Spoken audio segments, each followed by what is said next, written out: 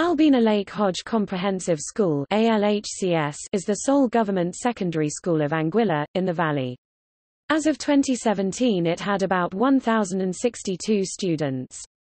It has two campuses, A and B Forms 1 to 2 go to Campus B while Forms 3 to 6 go to Campus A. It is named after Albena Lake Hodge. It opened as the Valley Secondary School on 21 September 1953. Its first principal, J.T. Tom, was from Guyana. It received its current name in 1986. It previously served only Anguilla's elite, but became a universal secondary school. In 2015, Principal Ingrid Lake retired, so Joyce Webster became the principal. By 2016, the Anguillan government was developing a master plan for the school's redevelopment. There are 48 Caribbean Advanced Proficiency Examination (CAPE) units offered, as well as 32 Caribbean Secondary Examination Certificate (CSEC) courses.